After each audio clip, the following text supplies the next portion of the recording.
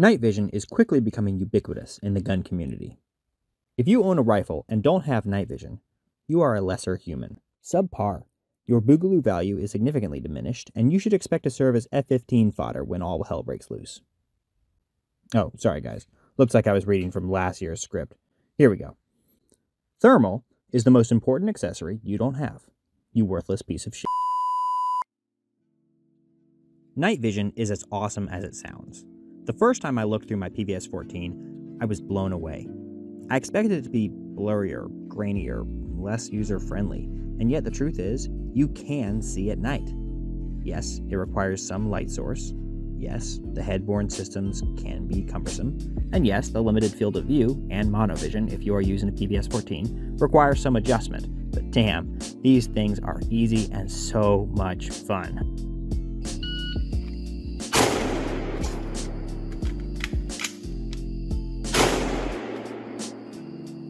Everyone can and should own at least a PVS 14. And once you own one, you should use it. And I don't just mean evening trips to the range. I'm talking night hikes, stargazing, sitting around the campfire.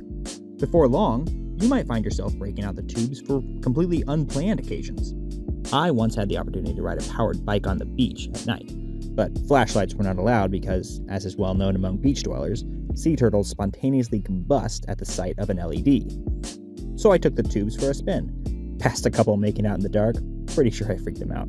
The point is, night vision is awesome and deserves to be used and carried with you in such a way that it is accessible even when you are not planning to use it. And if you're with me so far, perhaps the idea of EDC night vision, that is, night vision for everyday carry, isn't sounding quite so crazy.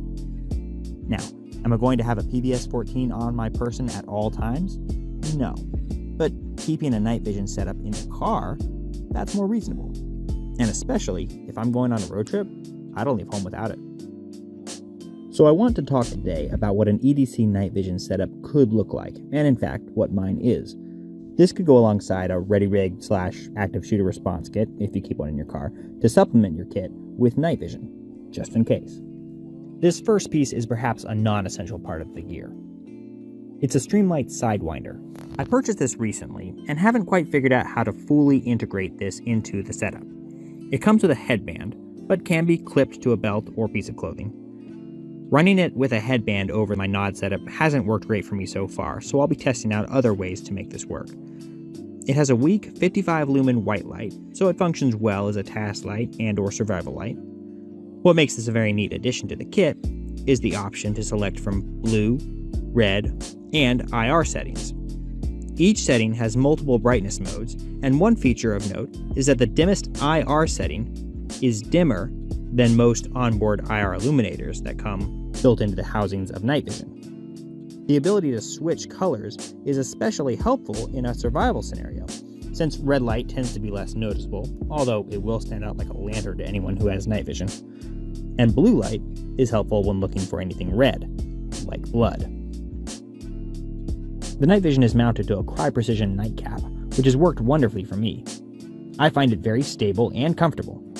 The nightcap was designed as an alternative to the military issued skull crushers, which do not allow the user to rotate the device up into the stowed position and do not allow for a counterweight. I do not have any personal experience running a skull crusher, thank God, but I have heard they are quite painful.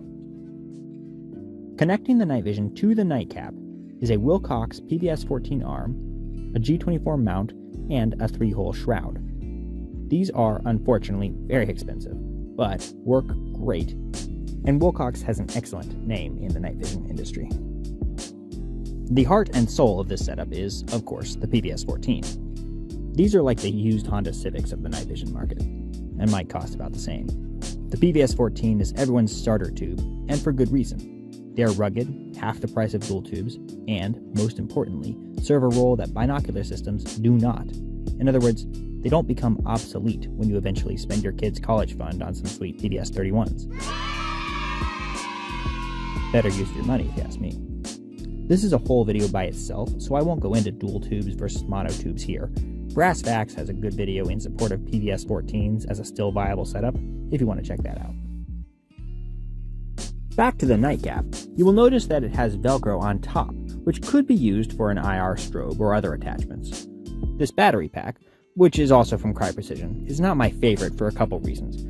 I don't like that the Velcro that attaches it to the nightcap is only one sided, so I lose this real estate that I could use to attach other things. I could sew or stick some Velcro tape to this, but it's a little frustrating that it doesn't come like this already. The other issue is that the pouch is not secured at the bottom to the cap, so it flops around unless you tie it down somehow. It does have this loop here, so the best I could figure was to loop the excess nylon from the adjustment strap through the loop in the pouch. And this has worked surprisingly well. Maybe this is what was intended, I don't know. I might be missing some more obvious solution, but this has worked well enough for me so far, so I haven't investigated further. You can see I keep a lifetime supply of AA batteries stacked as a counterweight. All of this fits snugly in this Peltor pouch that came free with a pair of ComTac 6s. I prefer something a little bit more purpose built, but this works for now. Finally, one thing I often carry as part of my normal EDC is this V1 Vampire light from Surefire. This has a 250 lumen white light, but it uses those lumens really well, and a 100 milliwatt infrared setting. I love this light, and obviously no one is paying me to say that. Alright, that's it. So what do you think about this setup? What would you put in your EDC night vision kit? Please know that I read and appreciate every comment. This channel is new, but I've got ideas bubbling out of all my orifices, and I can't wait to share them with you. Till next time, catch you later.